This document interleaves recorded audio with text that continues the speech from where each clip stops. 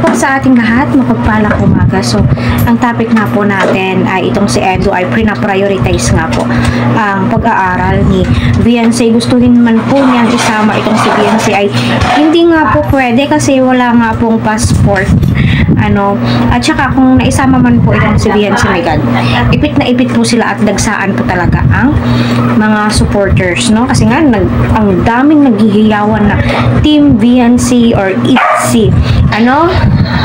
Ganun po ka-solid ang mga supporters ng buong Team Kalingap. Gagawa ng gagawa ng paraan para sila ay makapag day off ano sa napaka-sweet nga po ni Ed at saka ni Beyonce ano kahit na napakalayo po nila alam naman po natin ano ah, may internet na Facebook Messenger.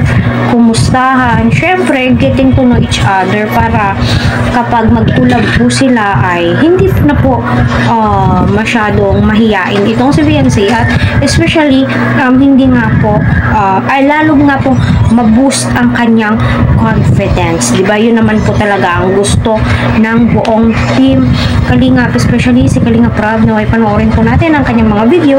Huwag po natin skip ang kanyang ads, no?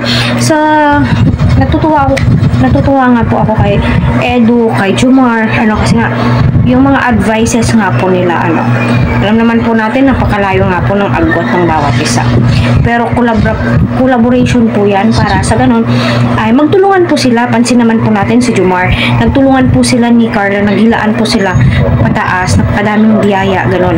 Ano, so si Edo is, um, prioritize niya yung pag-aaral ni Beyonce. May mga advices po siya, which is, um, malaking tulong po yun kay Beyonce. Ano para mas lalong ganahan mag-aral? Kasi alam naman po nating lahat, ang edukasyon po talaga ang pinaka-importante sa lahat. Ano? Aanhin mo yung mga material na bagay kung, kung wala po talaga, no, kung wala kang pinag-aralan, napakahirap po talaga. Kaya, no, ay patuloy po natin silang suportahan, tangkilikin, huwag po natin skip ang kanilang mga ads.